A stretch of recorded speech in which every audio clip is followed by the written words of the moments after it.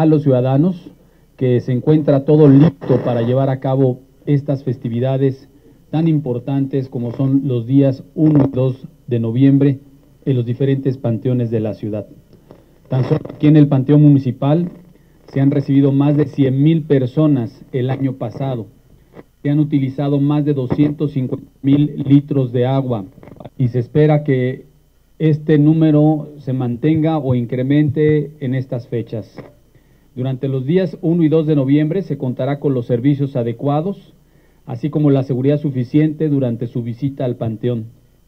Se va a ampliar el horario de atención a los ciudadanos de las 7 de la mañana a las 7 de la noche, siendo que el horario normal es de 8 de la mañana a 4 de la tarde.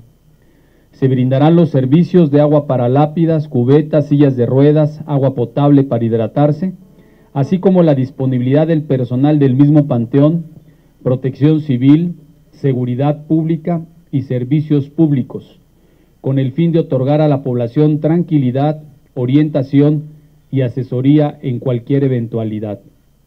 De las medidas de seguridad correspondientes a la Unidad Operativa de Protección Civil Municipal, se vigilará que las entradas y salidas estén debidamente señalizadas sin obstáculos. Verificar también que los comerciantes que se instalen lleguen a utilizar tanques de gas e instalaciones eléctricas cumplan con las medidas de